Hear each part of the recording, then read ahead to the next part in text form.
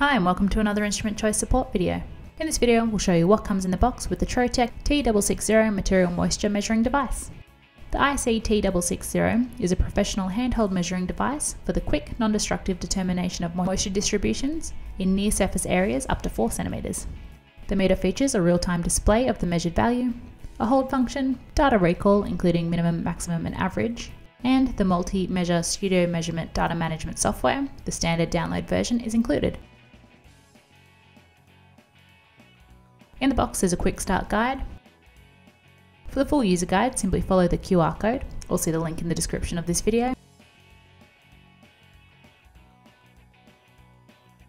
A calibration certificate, a screen cover,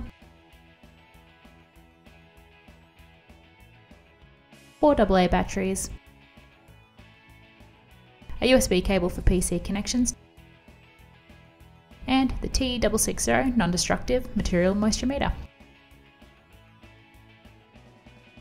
The meter features a measuring head on the top, continuous easy to clean glass surface made of highly scratch resistant special glass for a high contrast display of measured values even in sunlight. The cross control with up down left right functions, the center key is an enter button while the left key doubles as a menu button and the right doubles as a back key. The sides are rubberized to aid in grip. These also serve as the ideal place to hold the meter to reduce the risk of compromising your results. There is a USB interface and an on-off key on the side.